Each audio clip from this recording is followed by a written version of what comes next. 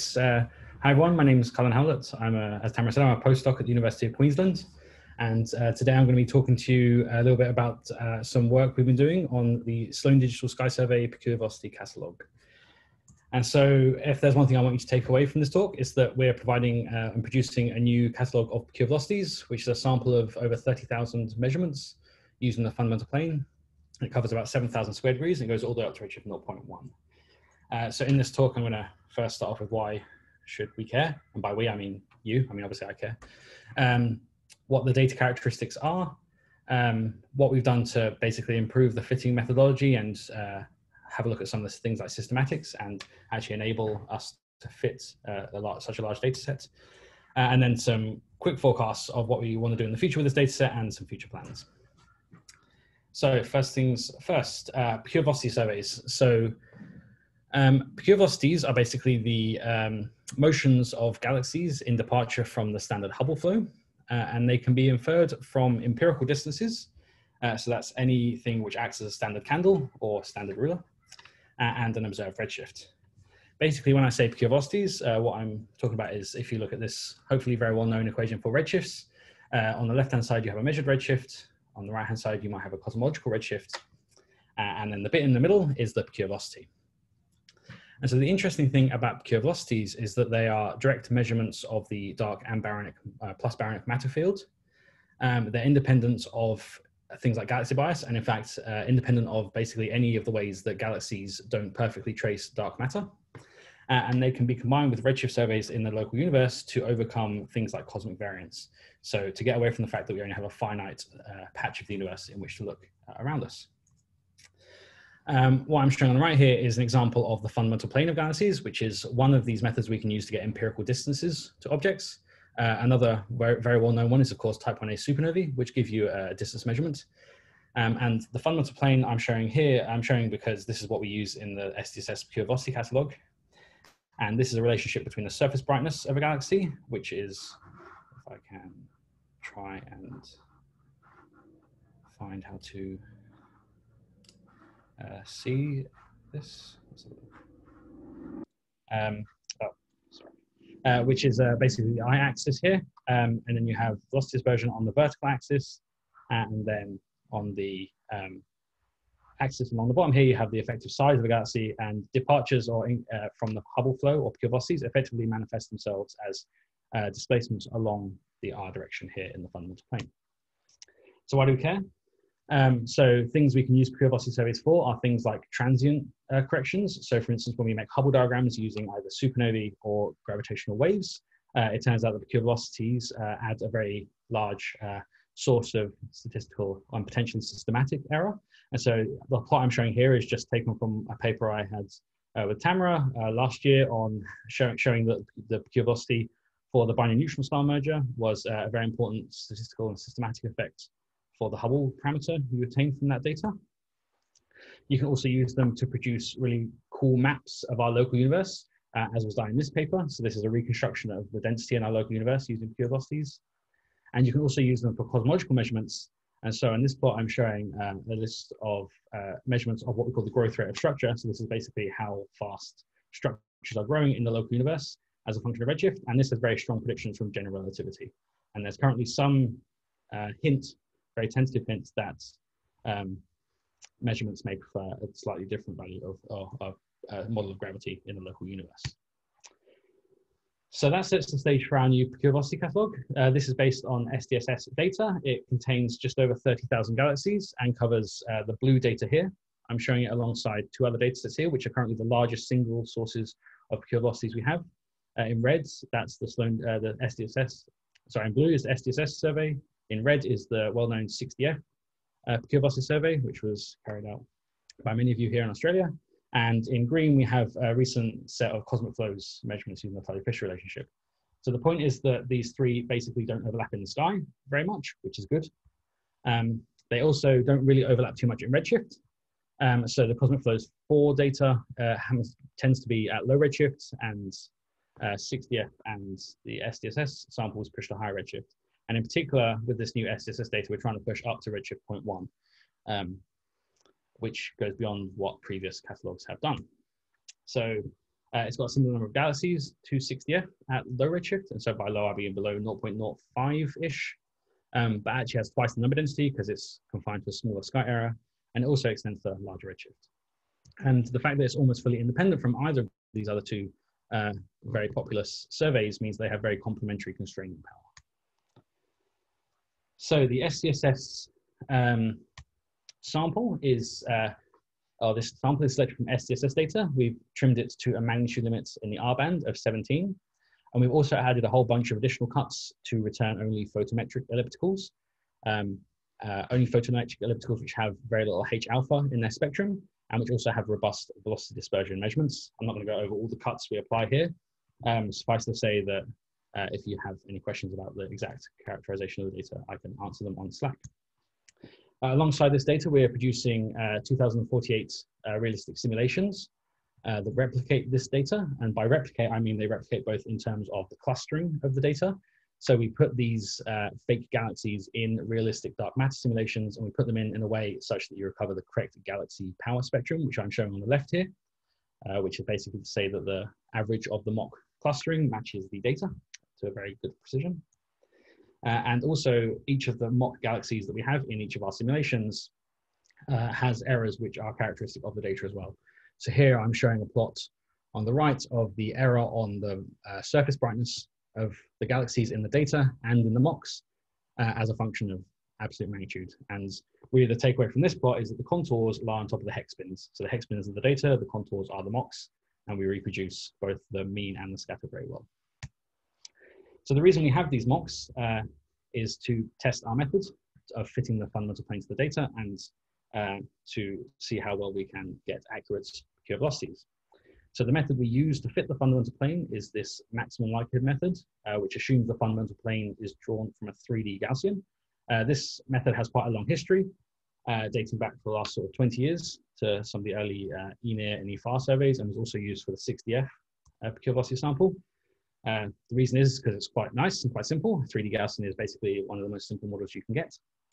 Um, and what this allows us to do, if we assume this model, is we can write down basically our vector of, of, of fundamental plane measurements. So this mu here contains the surface brightness, uh, effective radius, and velocity dispersion of each of our galaxies.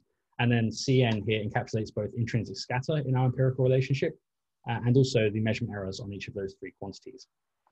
Um, we also weight the likelihood to account for missing galaxies, so galaxies which fall below our magnitude limits, and uh, have a normalization here which accounts for the fact that we might have cuts in our data such as in the velocity dispersion. Uh, so th this method works extremely well for fitting the data. So on the plot here, I'm showing the best fit fundamental plane we get from our SDSS data. Uh, the hex bins here show the data points, um, and red is the one-to-one -one line, which, given the axis I've chosen to plot, is the fundamental plane. And the contours here represent uh, the average over 2048 mocks. And on the right-hand side, I'm just showing the distribution of fundamental plane parameters we obtained from both the data and the mocks, just to show that um, the method we're using reproduces the input to the mocks very well, which is the red line, um, and the data is characteristic, or the mocks are characteristic of the data. Uh, so this uh, doesn't come without its own difficulties though. And so one thing we found with the SDSS peculiar velocity catalog is that pushing out to redshift 0.1 uh, really does make systematics so, so much more important. Um, and they're already an issue when you're trying to do um, empirical distance relationships. I mean, you can ask anyone in the supernova communities or Tully Fisher or fundamental plane uh, communities that the um, systematics are a real big issue. Uh, but when we're pushing out to Redshift 0.1, we have to consider things which we might have assumed we wouldn't have to worry about too much. And the first of these is to make sure that things like, sorry, my computer's frozen, here we go. Um, make sure that any data cuts you apply aren't distance dependent. So this can include things like if you've used uh, visual inspection on your data, um, when you're going to slightly higher redshift, like 0.1, it could be that you just get less efficient at classifying galaxies. Um, it could be that your spectral, your instrument you're using to get your spectrum might be less efficient at, uh, at detecting H alpha, uh, and all these other things which you have to basically very carefully go through, and we have with the SDSS data very small differences in velocity dispersions that you measure within your galaxies can be very important. So typically anything on the order of five to 10 kilometers a second can suddenly cause a very large systematic. uh, if it's coherent across your sample. Uh, you also have to deal with precise conversion between magnitude, sizes, surface brightness, and that's because these small 1 plus z errors that you might introduce by forgetting them uh, introduce uh, and become, become very important. So things like surface brightness dimming, K corrections, uh, and of course there's the always ubiquitous Malmquist bias, which always affects um, data as you go to higher redshift. And so here's an example of what might happen if you uh, neglect one of these things. So here I'm showing on the right a plot of some mocks where I neglected the uh, K corrections when I did the Malmquist bias correction.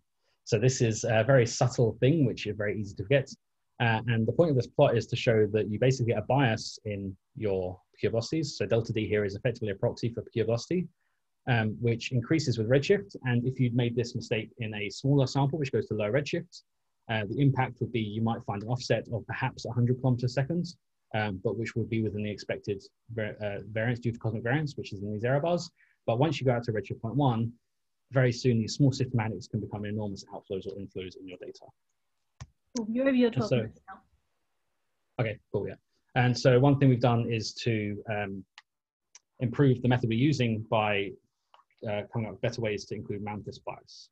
And so let me jump um, to um, the future work uh, or the conclusions of this uh, talk. So uh, hopefully I've convinced you that we've got this new catalog of velocities, which provides a new sample of about 30,000 velocity measurements. Um, and these are essential for local universe cosmology and cosmography, uh, cosmography and uh, this new data has enabled us to push the boundaries both in terms of depth and number luminosity. Thanks. Great, thanks Cullan. Um, hope I didn't hurry you up too much at the end there. Uh, does anyone have any questions? I can't see any on Slack yet.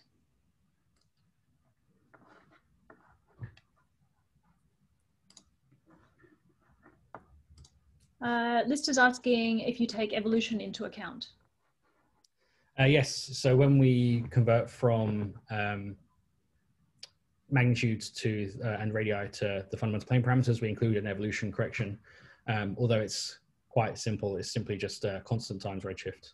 Um, although that's found to be a good fit to uh, other SDSS ellipticals. So how much of an increase in numbers is this compared to previous ones? I think you mentioned it, but. Yeah, so this is about a factor of three larger than uh, any previous single survey and is actually um, larger than all previous measurements combined by a factor of 1.5 or nearly two. Yeah. Awesome. I don't see any more questions popping up online now, so we might catch up that extra minute we lost at the beginning and um, move on to the next talk. Uh, thanks, Cullan, again. Uh, next, we have um, Benjamin Roberts. Uh, are you there, Benjamin? Yes, excellent. Cool. Also nearby to me. Um, take it away. Um, okay, so uh, can you see the slides in a second that is coming up? Mm, probably. Bring our shared window to the front. Okay.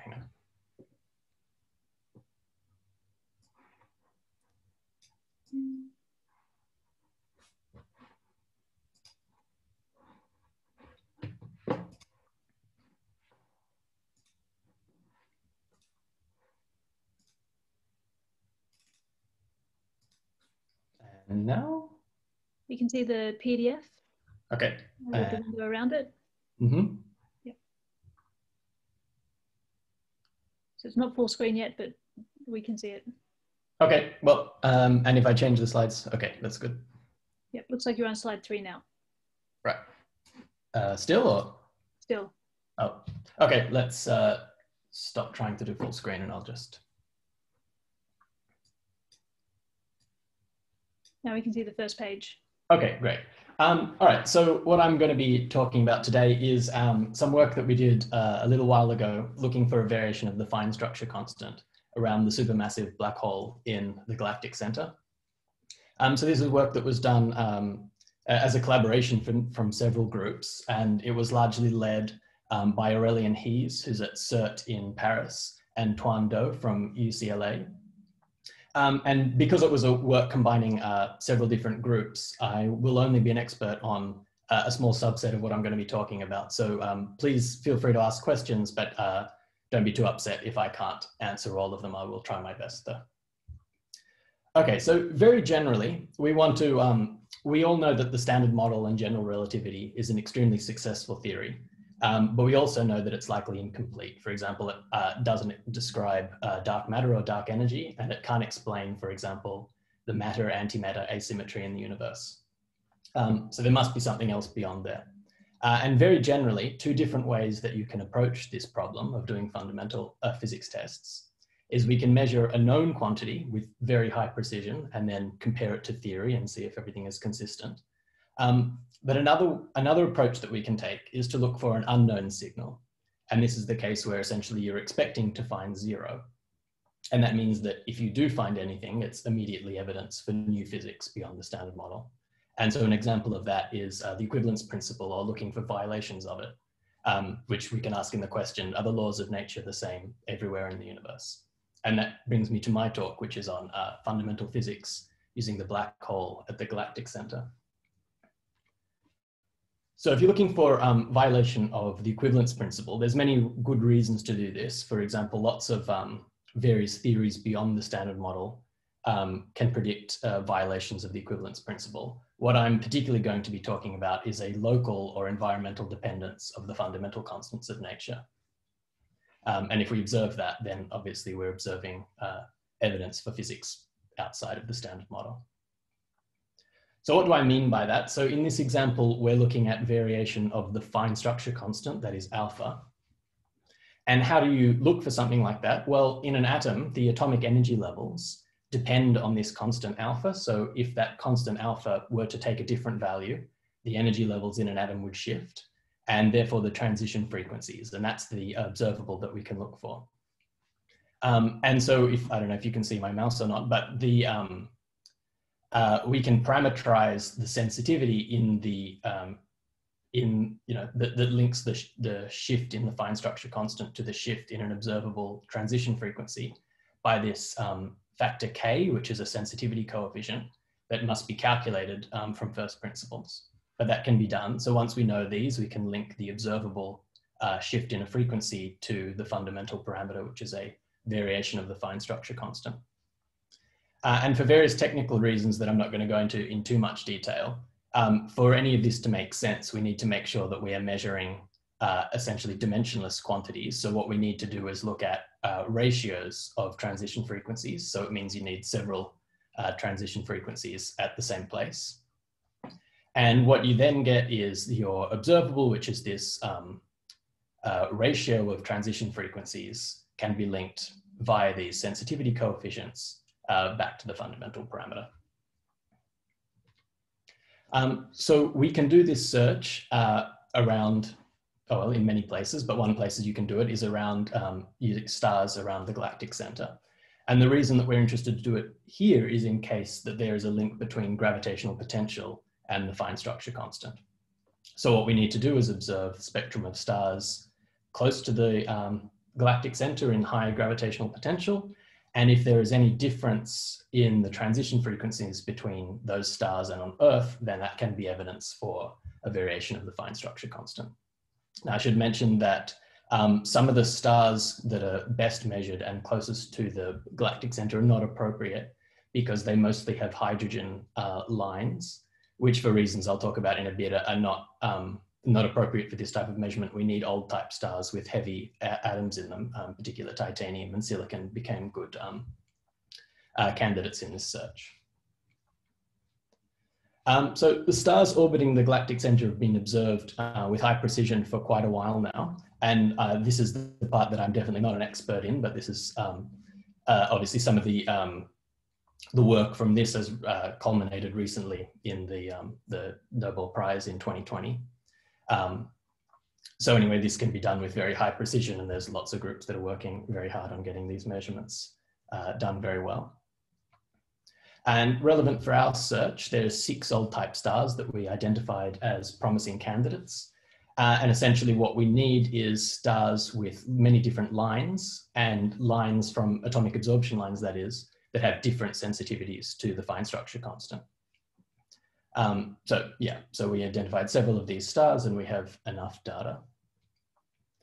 Now, in order to um, in order to, to do these measurements, we need to be very sure that the lines that we're looking at are indeed the lines that we think they are. And that means we need each, each line to be, uh, um, you know, unambiguously uh, identifiable. And that means out of the, you know, thousand odd possibilities, uh, it turns out there's only about 15 that were um, uh, separate enough for us to, um, to use uh, effectively. But in any case, we have these 15 lines um, from, from this spectrum that we can end up using. Um, so to link these observations then to a fundament to the um, to a possible variation of the fine structure constant, we have to uh, fit um, essentially to this equation. So we need to fit each individual line uh, individually, because the biggest systematic obviously will be um, the relativistic and velocity redshift. So we have to fit for the redshift and for a potential variation in the fine structure constant uh, at the same time. Um, and because of that, it also means we, you, you know, you need more lines than you would otherwise thought. And we also need to know these K coefficients, the sensitivity coefficients for each individual line, which need to be computed.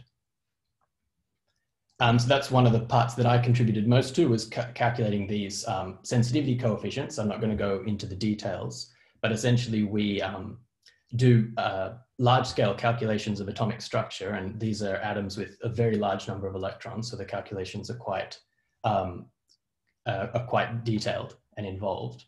Uh, and in, in, in, in, effect, we um, literally vary the, the value of the fine structure constant from the beginning before solving the Schrodinger equation to calculate the, uh, the energy levels and wavelengths for a particular atom and then see how sensitive they are to variations in the constant.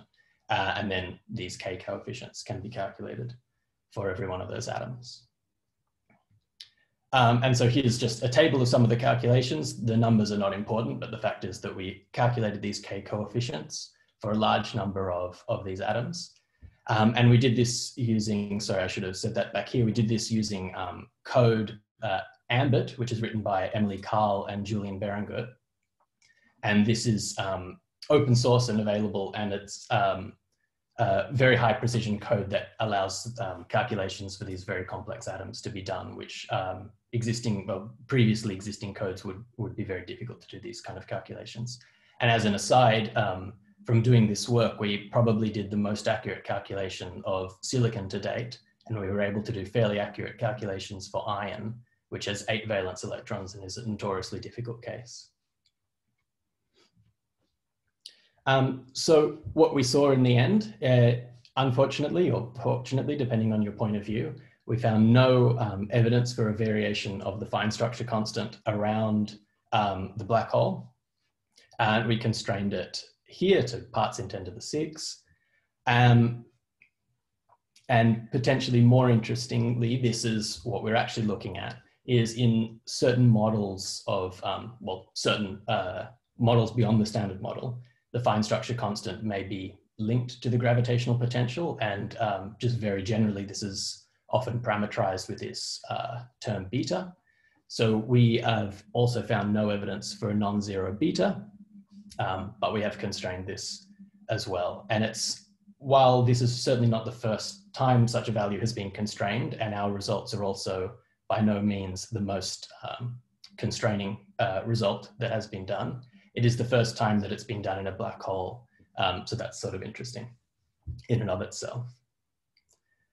And so just to summarize, this is what we've done. We've um, constrained the variation of the fine structure constant and the dependence of the fine structure constant uh, on gravitational potential around a black hole. And we think this is quite interesting because it's showing another, um, another avenue for, for doing fundamental physics using stars in the galactic center. But most importantly, this um, this work was really just initial results based on incidental data. These were not dedicated observations, so we're just using data that was already existing. And there's currently a proposal which is being led by Tuan Do at UCLA, which is underway to do um, dedicated measurements of stars. And the main way that this is, um, that we hope to improve is to have uh, measurements of more lines um, of stars which are closer to the galactic center and therefore at much higher gravitational potential. And due to a number of things, we're hoping to get up to a, five orders of magnitude improvement in the precision for the um, for the sensitivity to this beta parameter. That might be a little bit optimistic, but that's uh, roughly the, the maximum that, we, that we're hoping for. Um, okay, so that's what I've got. I'm happy to answer any questions. Fantastic, really cool stuff. Thank you very much. Um, there's one question I can see so far in Slack from Anna Syme, which is what kind of approximations do you have to consider when calculating K? Do you do a full relativistic calculation? Right, good question. Yeah, thanks. So we do do a full relativistic calculation. It turns out the relativistic part is actually not the, the hard part once you um, you know, you use the Dirac equation instead of the regular Schrodinger equation and all the relativistic parts uh, are just in there automatically. But what does turn out to be the very hard part is accounting for the correlations between um, the various electrons. So we start out with a frozen approximation and then allow uh, excitations and, and correlations between the electrons. Um, but that blows up computationally very, very quickly. So you have to find clever ways to um, get high accuracy without, uh, without exploding the computing time too much. That's definitely where the main problem comes in. Yeah.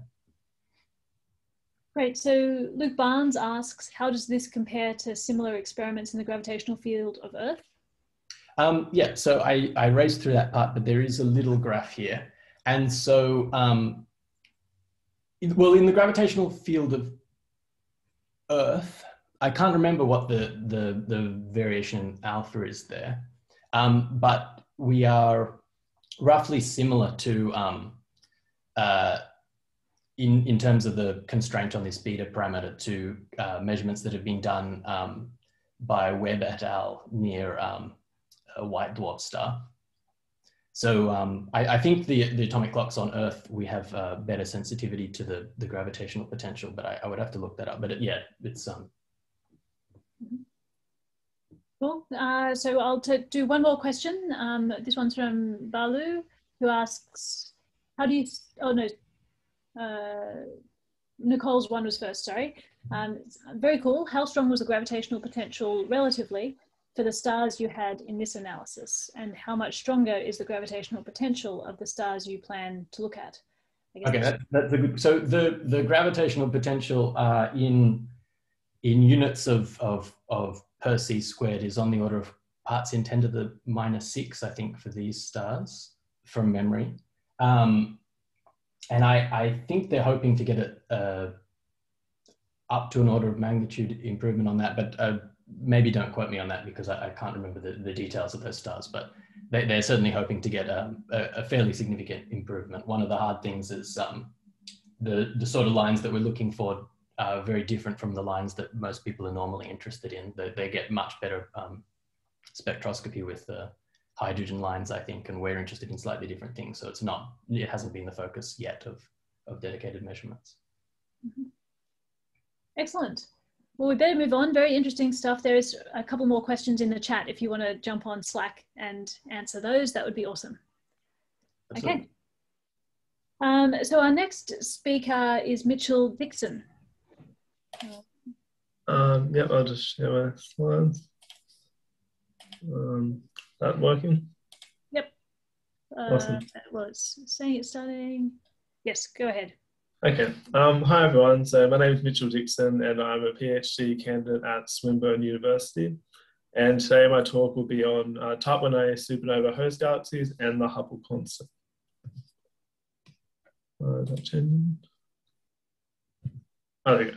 Um, yeah, so as you've heard from a few speakers say, the Hubble tension is currently a really big problem in cosmology today, and it's due to this growing discrepancy in a lot of methods in measuring how fast the universe is expanding. So we have the early universe, which is the um, indirect way of measuring H naught with things such as the cosmic microwave background, and the late universe, which makes use of uh, standard candles and the astronomical distance line. And this uh, figure is a great representation over the last sort of two decades how uh, these sort of main methods have uh, basically reduced their uncertainties quite a bit, but have reached a point where they're starting to diverge. So between the Cepheid and the cosmic microwave background, there's between four and six sigma, and also as mentioned, you can have the see the tip of the red giant branch, which has a sort of medium value. But ultimately, there's still a lot of work needs to be done, and is currently why this is a, a crisis in cosmology. So a really useful um, standard candle is the Type 1a supernova, but importantly, they need to be standardized in, um, for use in measuring distances. So here's an example of um, some of the supernova light curves before and after um, corrections are applied. And these corrections are important and include uh, things such as the uh, peak magnitude, the stretch or the width, uh, the color, and ultimately these, along with um, other fitting parameters and the absolute magnitude, form the uh, how we can find the observed distance modulus used in uh, determining yeah, measuring distances. So ultimately now we have this distance modulus, we can then define a, a, Hubble residual, which is the deviation between this observed distance modulus and the inferred value given our current R lambda CDM model and um, at a given redshift. So um, this HIMO project, basically the broader scope is constraining possible systematic factors which impact measurements of the Hubble constant um, with the astronomical distance data. And we aim to do this by utilizing galaxy spectra to investigate if there's any uh, Hubble residual correlations with uh, their host galaxy environment and if any of these will be important going forward in constraining systematics. So a lot of work has been done uh, with a lot of these different types of um, Hubble residual correlations with their galaxies, and these include things such as um, metallicity, the stellar age, star formation rates, and uh, one of the big ones currently is known as, uh, there is a mass correlation known as the mass step. And this figure uh, shows basically where we have, so after these light curve corrections, we have the more negative Hubble residuals, which are more luminous after correction, residing in galaxies that uh, have higher stellar masses in comparison to their counterparts. And it's this sort of uh, difference which is uh, currently being investigated why or what the exact mechanism is behind uh, this result. And this could be due to things such as the intrinsic properties of the supernova, the local or global environment, or extrinsic factors such as dust. And ultimately, understanding the intrinsic scatter of these effects is important to improving the Type 1a standard candle. So we'll be making use of, um, in our work, uh, Dark Energy Survey and Australian Dark Energy Survey. So DES is uh, basically maps out hundreds of millions of galaxies and has identified thousands of supernovae. And this is done across five optical filters using DECam in Chile. And here is a sort of just cool animation showing, so in the, across each of the DES fields, the red is the three-year uh, sample of type 1As, which have been spectroscopically identified, and then we have the five year, which is the more recent sample, which are photometrically identified type 1As. And there's basically, as you can see, an order of magnitude difference, and this is quite substantial and allows a lot of different uh, analysis to be undertaken in this type of work. So then we have um, OzDES, which is uh, um, over at um, Siding Spring Observatory in Western New South Wales at the AAT.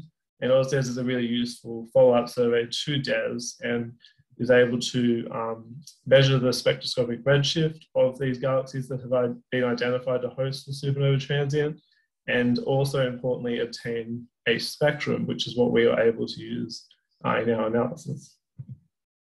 So now that we have our uh, DES five-year sample, after making some necessary cuts, uh, we get around 1,034 OzDES host galaxies that we can use. And we can now apply light curve, light curve fitting parameters to estimate our observed distance modulus. So here we show without and then applying these light curve corrections. From then we can then fit our, our data and obtain our Hubble residuals for each of these um, objects. Now, the question with those galaxies is, can we find any um, Hubble residual correlations uh, that might be evident? And the first step now we have our sample is we can now split into different Hubble residual bins. Then we can we choose to co-add the OzDES host spectra into stacks. And the reason we do this is because the OzDES individual uh, spectra is uh, a low signal to noise. So um, by colliding them together, we are able to uh, put them in a much more suitable condition for uh, spectral fit-in, which is what we're using to extract information about the stellar um, environment, the ga galaxy environment. So for this spectral fit-in, we utilize uh, penalized pixel fit-in, known as PPXF, to extract information about the uh, stellar and or gas kinematics from our OzDES spectra. And this enables us to obtain uh, things such as the cell population age, um, metallicity, mass light ratio, and also the relative flux of emission and absorption lines. And here's an example of the uh, quality of one of the fits to the OzDES correlated spectra. And we can see the blue representing the data, the black is the best fit to the um, stellar templates, and then we have the red and green representing the stellar and gas components respectively. So now that we um, have each of these individual stacks, we can then run PPXF on each of them and see what we can um, obtain. And from here, we can see, so uh, from left to right, we have the metallicity, uh, the equivalent width, which we use the um, oxygen 2 emission line as an indicator of the star formation rate. We then have the mass to light ratio and also the log stellar age. And interestingly, there's no obvious correlation with either of those uh, properties with Hubble residual. And especially when we then plot the average stellar mass obtained from the DES photometry for each of these stacks, we see the much stronger um, mass trend in comparison to the weak ones from the spectra. And this is um, expected, uh, the mass correlation is expected due to uh, what's been seen in a lot of supernova surveys, and especially over this sort of stellar, stellar mass range, uh, the trend is quite steep and suggests that um, maybe this um, the mechanism for it isn't due to the stellar populations themselves. So um, basically, the next thing we can do is look into well, uh, what are the effects of dust in maybe explaining this mass step, and we make use of the Balmer decrement. So this is the ratio of hydrogen emission lines and uh, the main one is H alpha and H beta. But in our case, we um, as our sample is at a sort of median redshift of 0.55, um, H alpha becomes redshifted off our spectral range and therefore isn't uh, useful considering the lower number of objects that will have that uh, contain that emission one. So we make use of um, the second one, which involves H gamma, and that ratio corresponds to um, the theoretical ratio is 0.468. And here we plot uh, H gamma against H beta, and uh, the dashed line corresponds to the expected ratio. Now, the important thing about the Balmer decrement is that we any difference from the observed values to the theoretical values allows us to determine um, is there any reddening due to dust in our spectrum. Now, uh, another thing to note in this plot is that, so we have the more positives, the color code here is the redder um, points uh, tend to have larger line fluxes and this is generally a sign of a more dustier um, environment and also one that may have a higher star formation rate. Uh, so now that we have our um, our Balmer ratios, we can then plot against the Hubble residual of those, and we see a much more obvious uh, trend with Hubble residual. So here we have the um, green line representing our fit to the data, and we can see also by showing here uh, the reddening vector um, calculated using uh, the method in Cardelli et al. 1989, that our, um, this appears to be consistent with reddening, with the more positive and fainter Hubble residuals being more impacted by dust. And this is important to see as uh, in a lot of recent research, um, dust is definitely becoming one of the more uh, promising avenues to explain these um, mass step after light curve corrections. And it's the ability to split um, up these dust uh, impacts going forward that will ultimately help us hopefully constrain a lot of these calibration uncertainties. So uh, just a sort of summary of this um, sort of talk today. So the Hubble tension is a massive crisis in cosmology today, as um, as I hope is obvious. Um, Type 1a supernova are extremely useful as standardizable candles, and ultimately, whatever we can do to improve them going forward is going to be extremely beneficial. And one of the areas is going to be through calibration systematics, so that they will um, impact our measurement of the Hubble constant, and these will be due to things such as the intrinsic scatter in the Hubble diagram or environmental correlations that we may not be uh, properly accounting for. And the sort of main from this talk, um, from our research, the mass correlation um, that has been observed in a lot of studies, we can't currently explain with the stellar populations obtained from our OzDES spectra, but there does appear to be indication that dust has um, a high importance going forward. Thank you very much.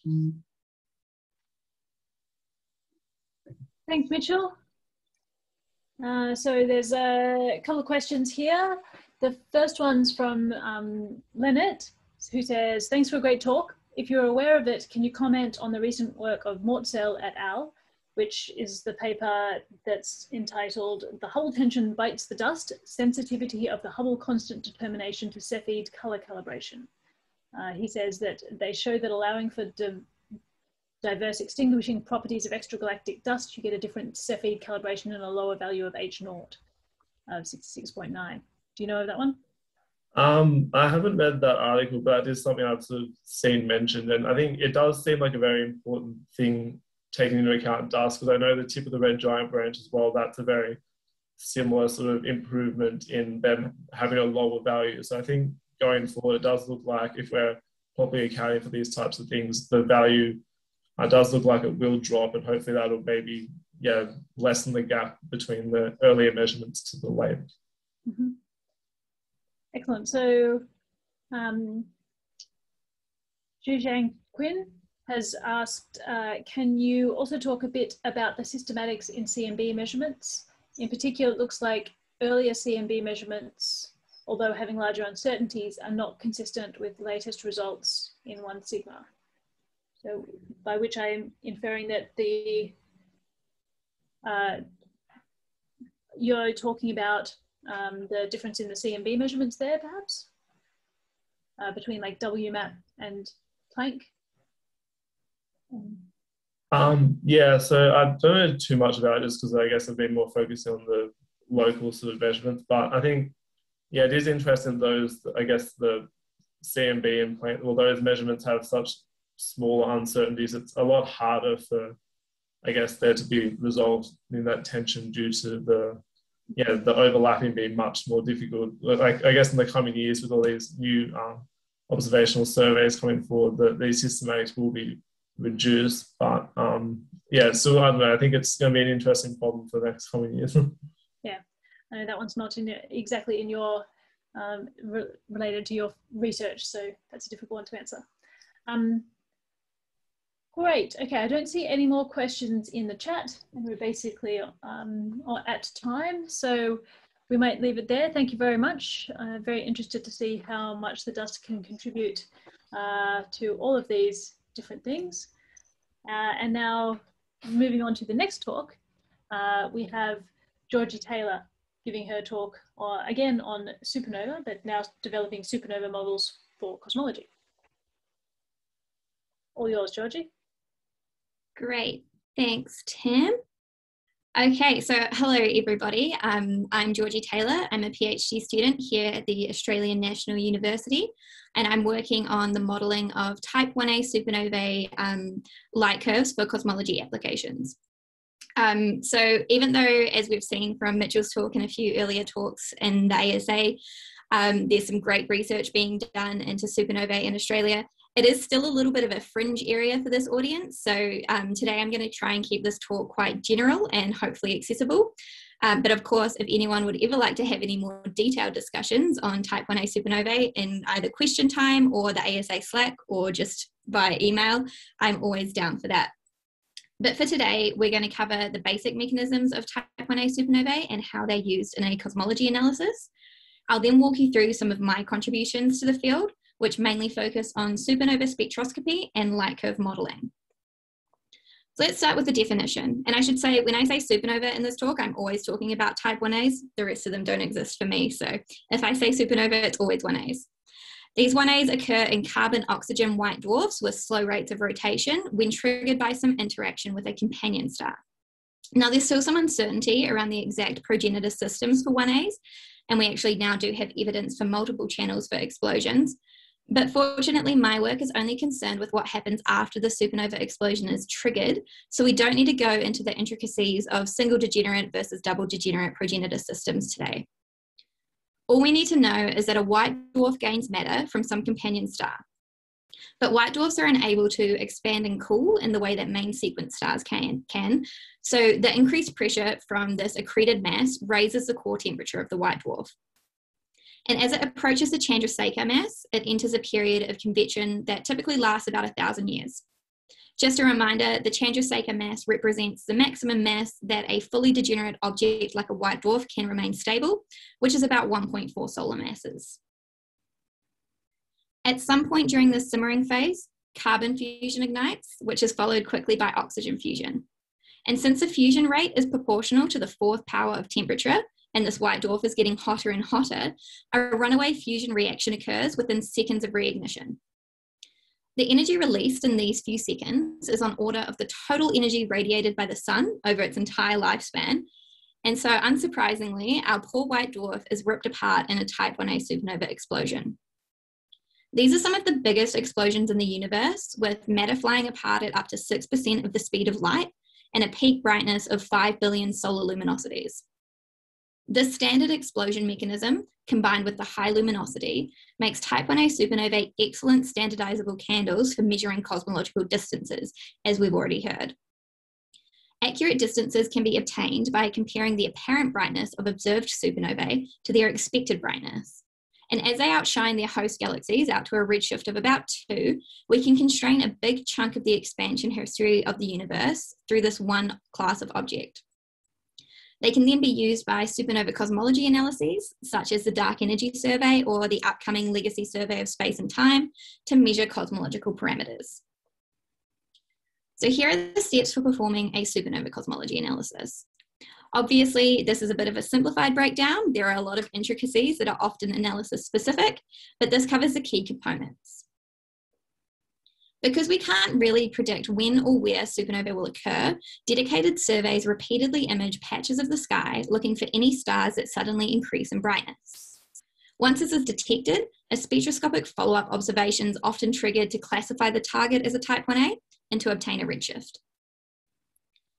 A supernova is photometrically observed over multiple filter bands and epochs to try and capture as much of its light curve information as practical.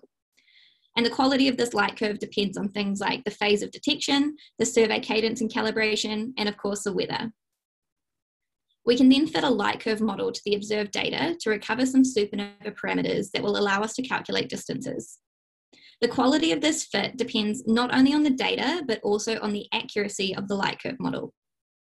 The fit shown here is from SALT 2, which is currently the industry standard model for type 1a supernovae. We can then use the supernova parameters recovered from the SALT2 fit to measure redshift independent distances via the modified Tripp equation. And then those distances can be compared to the redshift gathered, uh, the redshifts gathered from spectra to produce a Hubble diagram. And finally, we can take the Hubble diagram and through some complicated math, measure cosmological parameters such as the mass density omega matter or the dark energy equation of state parameter W. So this figure is from the Dark Energy Survey's three-year supernova analysis in 2019, which constrains W to about 5%. The aim now is to achieve a 1% precision measurement of W. So that was your two-minute introduction to a supernova cosmology analysis. In reality, it takes years of collaborative effort um, with tens to hundreds of people, often working remotely on individual pieces of this big puzzle. So I come in in a small piece at step two, which is the sweet spot after the data has been collected and reduced, but before the co complicated cosmology begins. So my role in the Dark Energy Survey's supernova analysis has so far been to work on the fitting of a SALT2 model to supernova light curves. And specifically, I've been looking closely at the model itself and how it can be updated to give improved light curve fits. So because of the aforementioned uncertainty of type 1a progenitors and mechanisms, we don't actually have a theoretical light curve model. Instead, we have empirical models like SALT2, which are trained on observed data. The SALT2 model defines the emitted flux at a particular phase and wavelength. It's determined by two sets of parameters, the model components, which are obtained during the training process, and the supernova parameters, color stretch and amplitude, which are unique to each object. A light curve fitter then takes the fluxes from some observed supernova light curve, along with the SALT2 model components, and determines the supernova parameters, which can then be used, as we saw, to obtain a distance measure. The training of SALT2 is an iterative chi-squared process which takes the underlying SALT2 model mechanics, a training sample of 1A data, and some initial conditions, such as definitions of photometric systems, and produces a SALT2 surface. And so a surface is just the set of outputs that you get from one training of SALT2. So you can think of it like a version of the SALT2 model. You can produce a new surface by changing either the training sample or the initial conditions. But of course, if you change the underlying model, it's no longer SALT2. And until recently, the industry standard SALT2 surface was the Joint Light Curve Analysis, or JLA surface, that was produced by Betoule et al. in 2014. Now, I say until recently because earlier this year I released an updated SALT2 surface that implements two major changes to the initial conditions. SALT2 T21 was trained with updated Milky Way dust extinction and photometric calibrations. The Milky Way reddening in the JLA surface was defined by dust maps which were found to overpredict reddening by 14%. Changes in the amount of reddening caused by Milky Way dust affect the colour of type 1a supernovae and therefore the distance measures. So this was an important update. We also updated the flux zero points of a number of photometric systems by an average of 10 millimag. So most supernova analyses actually combine data from different surveys within their sample, and the calibration between these different photometric systems is imprecise, uh, particularly for older systems. So this uncertainty from the photometric calibration can contribute up to two thirds to the total systematic uncertainty budget for a modern analysis. So again, this was an important update to the model. We then tested the impact of these changes by performing two supernova cosmology analyses based on the Dark Energy Survey's three-year supernova analysis. The only change between each analysis was the choice of JLA or updated T21 surface. But when comparing the results of these two analyses, we found a change of 0.015 in the dark energy equation of state parameter, which represents about a 1.5% change in W. So we can see that retraining SALT2 with these updated initial conditions, as in the T21 surface, was an important step in this time of precision supernova cosmology. But these updated initial conditions are actually only one way of producing an improved SALT2 surface. We can also make updates to the training sample. So the JLA and T21 surfaces were both trained on the same training sample of 420 type 1a supernovae as shown here. And now we have data for about a thousand more type 1a supernovae that we could include in a SALT2 training sample. And in fact, we do intend to do this in the future. But most of that data is photometric and the spectral sample that we do have so far has been observed somewhat randomly. You can see the distribution of phase and wavelength here. So now we're wondering what a SALT2 model might look like if it was trained on a strategically targeted spectral sample instead. So for example, how does a SALT2 surface perform when trained on a spectral sample that was observed at peak phase versus one trained on a spectral sample that was evenly sampled across phase space? Similarly, what are the effects of wavelength range and resolution or host galaxy contamination in the spectral sample? So all of these sort of selection effects haven't been investigated before in the context of the SALT2 model, but in the age of precision supernova cosmology, they could become important. Unfortunately, all of these effects can be tested using simulations, which I'll be doing to determine the optimal spectral training sample for a SALT2 light model. This optimal training sample will then be obtained through a new supernova observing program called DEBASS. So DEBASS is a three-year survey that will use the dark energy camera on the 4 meter Blanco telescope to observe 750 low redshift supernovae. In combination with the existing data set of 2,000 type 1a supernovae already observed with DECam, this will produce the world's most powerful data set of both low and high redshift supernovae observed on the same well-calibrated telescope system that will not be surpassed for at least a decade Spectroscopic follow-up of DEBASS will be performed with WiFeS, the wide field spectrograph mounted on the ANU 2.3 meter. So WiFeS is an integral field unit that records an optical spectrum at every pixel of the region that it images, which among other benefits allows us to disentangle the supernova spectrum from its host galaxy. Our survey team here at the ANU has been hard at work developing our survey infrastructure and observing our first handful of targets. And we're already excited to see what science we can do with this consistent high quality data set that will replace the poorly calibrated historical low redshift sample of type 1a supernovae. But I think that brings me to the end of my time. So in the last 12 minutes, we've seen how type 1a supernovae are formed, measured and used for a cosmology analysis. We've also examined the SALT2 model and the different ways it can be improved. And we've learned about a new survey where Australia will play a crucial role in collecting a world-class sample of type 1a supernovae. So as always, thank you for your attention and I look forward to taking your questions. Thanks, Georgie. Perhaps all round. Uh, okay, does anyone have any questions they'd like to put in the chat? Uh, Lennart has one uh, who says, thanks for a great talk. Uh, before feeding data into SALT2, what kind of checks are performed to make sure that the light, light curves fed in are actually type 1a supernovae?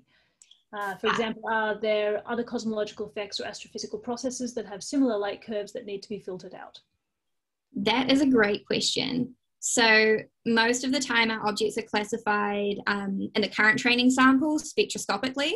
So we're able to constrain um, type 1a supernova spectra quite well. They're quite unique um, compared to other objects and I'm not aware of any um, imposters that could get through. We are now moving to photometric classification, which could become potentially a problem for future models that include uh, data that was classified in that way. We haven't investigated that yet, but that definitely is going to be coming up in the near future. Yu Shang asks, does the uncertainties in, for example, W reduce with the updated SALT2? Uh, it doesn't look so in the contour plots. Uh, only very slightly. So the interesting thing about updating the initial conditions is that we're not providing any extra data. So the model itself doesn't know that it's more accurate or less accurate. It just knows that it's different. So we don't really see any significant um, reduction in W uncertainties yet.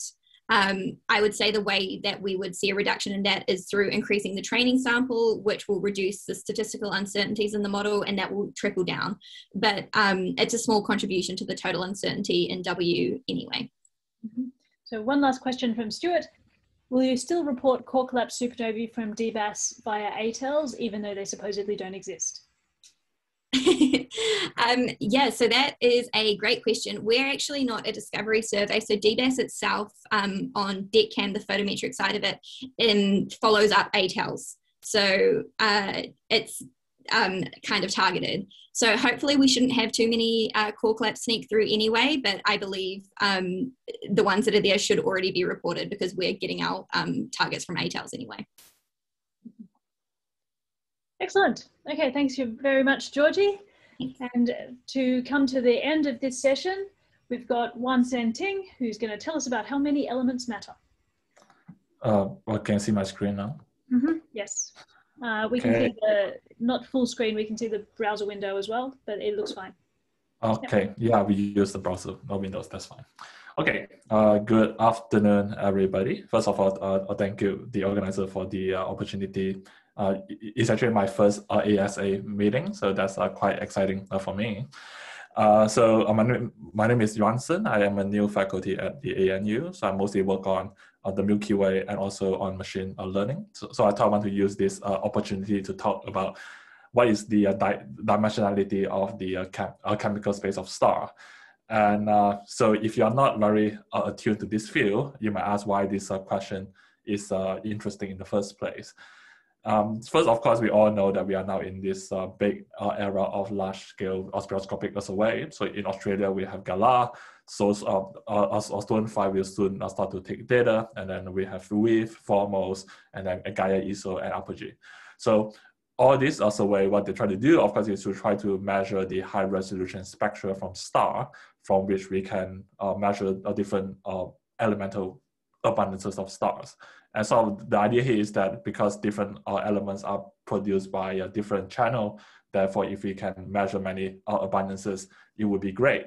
Uh, but of course, uh, the, the story is not as simple because it depends on whether or not the abundances are highly degenerate uh, or not, right? So even you have different channel, if you are in the left uh, hand side, most of the abundances are highly degenerate, then uh, you will not have many uh, independent uh, information. So the hope uh, back then was that you know the different abundances will have many independent information. So we should measure many different abundances. But uh, uh, believe it or not, so this topic was uh, sort of like tackled by myself as a uh, undergraduate 10 years um, ago with Ken Freeman. We, we wrote a paper on the PCA on the chemical space. But in recent years, uh, there are lots of like a debate on the same topic um, again. So we thought we want to re revisit this uh, question with uh, David uh, Weinberg. So, so, so what's the big picture here? So if you think about the simple chemical uh, uh, evolution of the Milky Way, the simplest way to understand that with uh, is with this uh, Tinsley uh, diagram. So you look at the uh, alpha over iron on the y-axis as a function of metallicity. So the story goes as you know you, you have some pristine gas in the Milky Way, and after some time, some supernovae happens. It's like dropping ink into a bucket of water, so the ink will diffuse over time if the ISM mixing is uh, instantaneous, then you do not really care how the ink diffuse. What you really care is what is the integrated uh, stellar yield. And this will trace out what we call the, the chemical track. So of course, uh, the chemical track has been studied since the 1990s. It, it, has been studied to death. But of course, that's not the goal of, uh, of GALAH, right? So one of the main goal of GALAH is understand if we can extract information beyond the chemical track. So more precisely, if I focus on a reference point, for star with the same uh, alpha enhancement and metallicity for the other n minus two uh, a dimension, uh, is there any uh, useful uh, variation? And that question, of course, is very tied to the simple question whether or not the ISM mixing is uh, instantaneous. So if the ISM mixing is instantaneous, then we will, we will be back to the one zone models. So what we what I have just uh, described will be the full story. So uh, there is not much information beyond the chemical track. But lucky for us, of course, the ISM mixing is not uh, instantaneous, meaning that there are many uh, processes that are ongoing in the Milky Way, but each of these uh, processes will take time. Therefore, if you drop an ink into a bucket of, of, of water, uh, the ink will not be immediately dispersed to the whole bucket of water.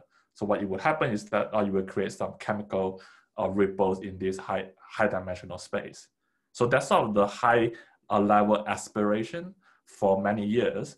But the question is, can we quantify such uh, ripples in the chemical space? Uh, sort of like a BAO for the chemical space, right? So uh, this is where sort of the debate like started in the last few years because uh, some people think that uh, the ripple is so small uh, it's very impossible to find the ripples. And since it's impossible to find the ripples, then uh, there's no uh, reason to collect high, high resolution uh, spectra. So uh, there are quite, quite a few paper, but this paper actually is a good uh, summary of some of this finding. So what people have claimed is that even I do not measure the other uh, elemental abundances, I can still infer the other uh, abundances with only two numbers, with only the iron on NH or iron on magnesium, I can infer the other uh, abundances to about 0.02 DEX. So people claim that in this case, why do you even care about uh, measuring the abundances? Because I can infer the, the other uh, abundances. And this is of course a very strong claim, and this is why uh, prompted us to uh, like revisit this question. Uh, some of the, the what people have claimed is that if I condition on the iron and magnesium, the other abundances X over H are, are, are nothing but just noise. And as I mentioned, if this is true, then this is really bad for GALAH because uh, not only for GALAH, it's like for future as a way because then you would not need high resolution spectra in the first place. Uh, good news for you, that turned out to be wrong. Uh, and this is why we try to write this, but not, be able to uh, clarify uh, some of this uh, misconception. So the main goal here, the game you want to play is to show that if I can somehow uh, describe this conditional distribution, I want to show that this conditional distribution is not just noise. And some of the, the oversights that uh, people have been doing is that instead of quantifying the whole uh, distribution, most of the time people are looking at the second moment, but uh, they're only looking at the diagonals uh, entries of the second moment. So they're looking at the dispersion uh, uh, about the mean. I would not bore you with the statistical details here. So for people who are interested, you can read the papers. But it, it actually is shown you know, by Fisher in the 1921 that if you're looking at the co covariances uh, and you're looking at the diagonal uh, entries, it's actually very susceptible to the sampling noise. So some of the analogy that I love to use is that like think about cosmology, you hope to find the BAO, but of course, first you need to have enough a, a galaxy to overcome the sampling noise, but you also need to find the right frequency. And in both cases, like uh, in, in some of this study that claim that you cannot find the ripples, they are not taking into account the sampling noise, but they're also looking at the wrong place. So it turns out that if you're looking at the right place, you cannot really find the ripples. But the question still is, how do you really quantify the whole uh, distribution uh, such that you can not uh, uh, uh, uh only looking at the second moment, but you can also look at the higher order moments. And this, of course, is very tricky because what we really have is not the distribution, right? So what we have, the, what the nature gives us is an ensemble of the realization. So in this n-dimensional space, you have like a million star, but you want to turn this into a distribution. Of course, uh, at this point, you know, we, we heard talk about QLint, uh, you can use a, a, Gaussian mixture models or a, a Gaussian models, but of course uh, that will not make the cut because this is a very high dimensional space. It's also not a fundamental plane, so it's very uh, nasty, right? So the question is, how do you describe a, a, very high dimensional distribution? And this is where uh, machine learning can play a role. So the tools that we use is called the normalizing flow. So, so the idea is the following. So you want to turn an ensemble into a distribution. The classical way of uh, doing that is to say, well, you know, I, I can write down a function form P and then feed a, a uh, maximum uh, likelihood uh, estimator to estimate P. But of course, you know, this is very limiting because the, the family of P that we can write down is too simple, right? Gaussian or Bernoulli or whatever. So if you uh, come to this case, like uh, this is still a simple 2D case, but you can imagine in this uh, double moon shape, it would be really hard to write down a function P. So the insights of a normalizing flow is to say, I want to use a neural network as a change of a variable. So even though I live in a very high dimensional space, but I can hope that find a neural network to turn that into a simpler uh, distribution. And in the in the target space, this likelihood is much uh, much uh, easier to define. And also want to make sure that you can uh, invert the function. So you want to use a special type of neural network uh, that can really do the change of a variable.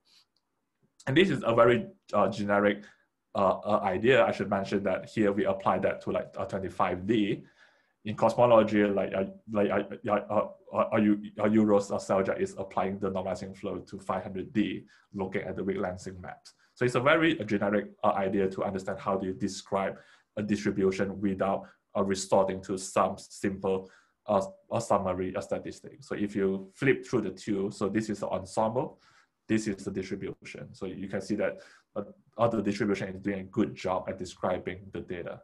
So with that, then you can start to extract higher order mo uh, a moment from this uh, distribution. So uh, of course, we did not go so fancy in this paper. So we uh, only look at the off uh, diagonals uh, entries of the second moment.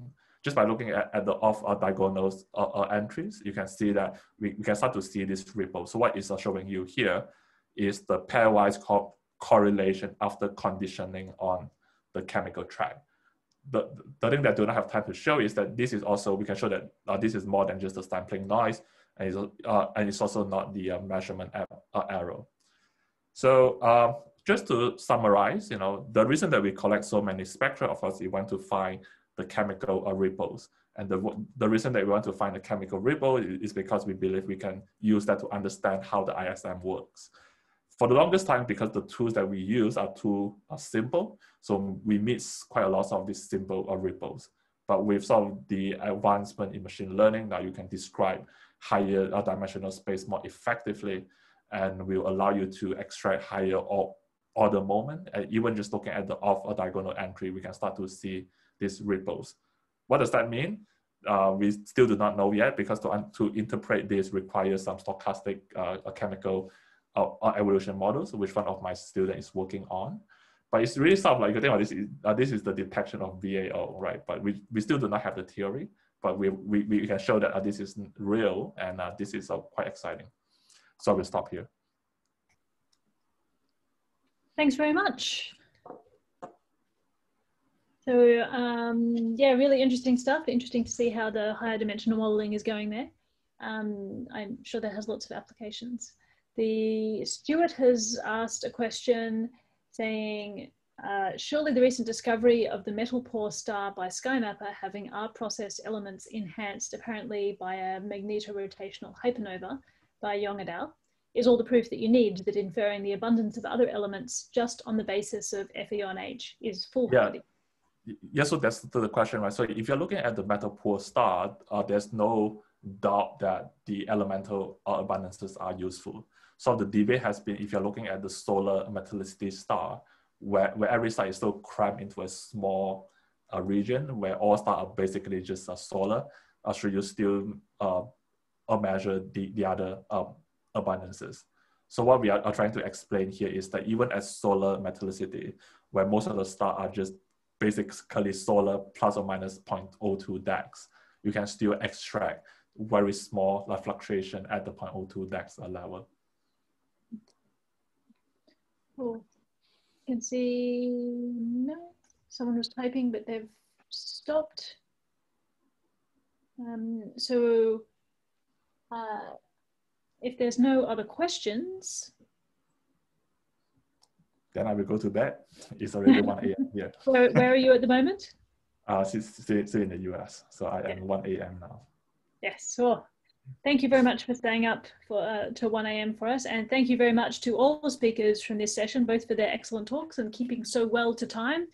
So one more round of applause all round. And now we have um, a break.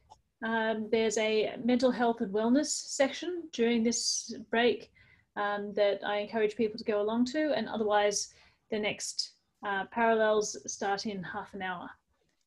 Um, the pillow start in an hour, and the mental health right. session will start in 10 minutes. They're going to give you 10 minutes to get go out, walk around, but it'll start in 10 minutes. Excellent. Thanks very much, Christian.